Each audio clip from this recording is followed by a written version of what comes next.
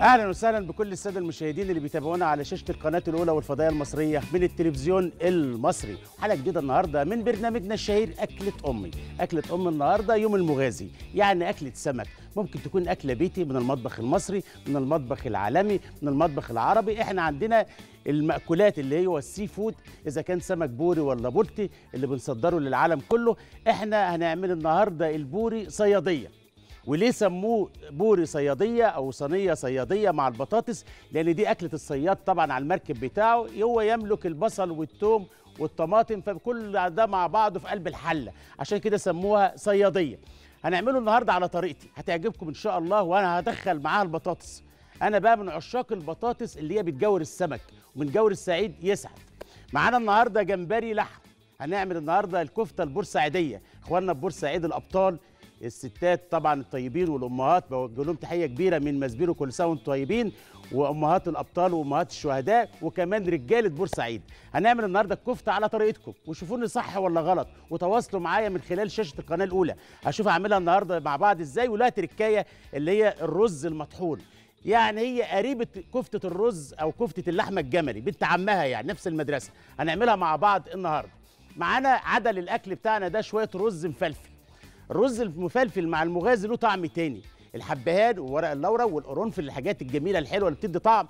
لازم إن إحنا نتعامل معاها بحساسية شوية لأن نسبة تسوية الرز بتاخد وقت قليل جدا. فعشان آخد الفليفر ده صعب. فشوفونا هعمل إيه النهارده الرز المفلفل على طريقتي بزيت الزيتون أو بزيت أي نوع من الزيوت مفيش أي مشكلة هيعجبكم إن شاء الله. وهو عدل أكلة السمك. الطبيعي على السفرة بيكون فيه عصير. أو مشروب يساعد على الهضم. إحنا الأطفال بنحبه الشباب الطبيعي. أنا هعمل النهارده عصير فريش عصير الكنتالوب بالنعناع. هنشوف نعمله مع بعض إزاي. هيتضاف له ليمون ونعناع وإحنا طبعا عارفين كلنا الليمون مع النعناع بيساعد على الهضم. حلقات النهارده فيها تفاصيل كتير فيها معلومة غير معلومة. هنخترق المطبخ البورسعيدي ونعمل الكفتة البورسعيدية اللي هي كفتة الجمبري. وعايز اتصالات من بورسعيد كتير على شاشة القناة الأولى علشان نشوف الشيف شغال صح ولا غلط. ومفيش مشكلة لما نتناقش مع بعض ونسمع وصفة لطريقة عمل الكفتة الجمبري البورسعيدية من ست مصرية أصيلة من بورسعيد. آه تروحوا بعيد. تابعوني بعد الفاصل.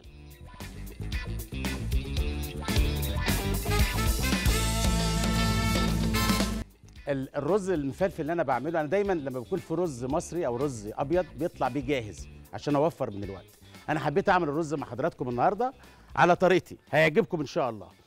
حطيت معلقتين من الزيت حطيت الورق اللورا والحبهان وعود روزماري وقلبت كده الرز اهوت واديله تقليبة لغاية لما يشرب شوية الزيت اللي أنا حطيتهم مع البهارات. آه. أنا هنا بقى إيه زي ما قالت الست أم كلثوم واثق الخطوات يمشي ملكا. يعني عندي شوربة متغذية فيها flavor السمك وفيها ال bouquet garni والطعم الحلو. ليه أستخدم مكسبات طعم ملهاش عوزة؟ مش عارف يعني ممكن هي حلوة ممكن مش حلوة مركونة مش مركونة تاريخ صلاحيتها وهكذا. أنا عندي اهوت زي الفل بحط شوية الملح بتوعي وعندي الشوربة بتغلي على النار. مع حاضر عيني. السمكة الكبيرة دي اللي الراجل الطيب اللي اتصل طبعا عشان نشتغل منها دي نعمل منها أوبن بوفيه نعمل منها صينية بالبطاطس نعمل منها كفتة نعمل منها بانيه نعمل منها مشوي وإحنا شغالين مع بعض. العب يا سمك. آه آه آه آه آه.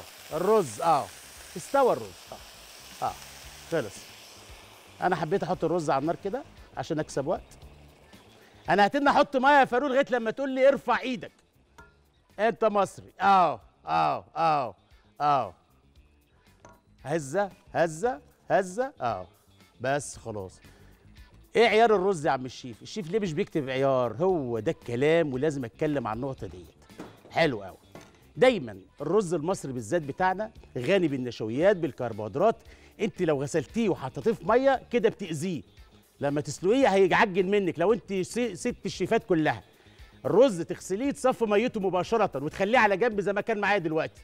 تفلفليه على النار بمعلقة زيت وعندك شوربة بتغلي. شوربة فراخ شوربة كوارع شوربة لحمة شوربة سمك ايا كان.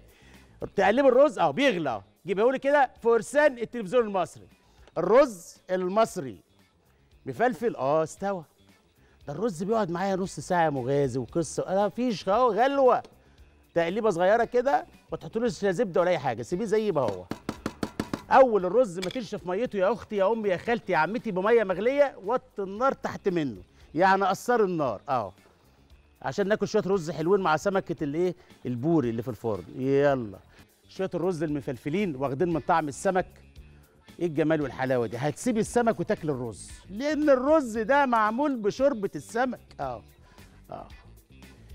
إيه الحاجات اللي في الرز دي؟ ورق لورا عود روزماري حبهان قرنفل. آه. نقوم ناكل الرز يبقى له طعم. آه. وكل كوم يا مغازي وروس السمك اللي أنت غاليتها في المية مع ال bouquet garni ده كوم. ألف هنا وشفا. كل عام وحضراتكم بخير. داخل علينا الشهر الكريم. عايز أطمن حضراتكم معانا فريق عمل قوي جدا. كل يوم اجتماعات علشان نطلع بشكل يليق بالقناة الأولى كالعادة. من التلفزيون المصري من مسبيرو علشان في رمضان إن شاء الله لنا مفاجآت. اوعى تروحوا بعيد ولا خلصت؟ رؤية فن إبداع كل يوم على شاشة القناة الأولى والفضائية المصرية. منين يا شيف؟ من مسبيرو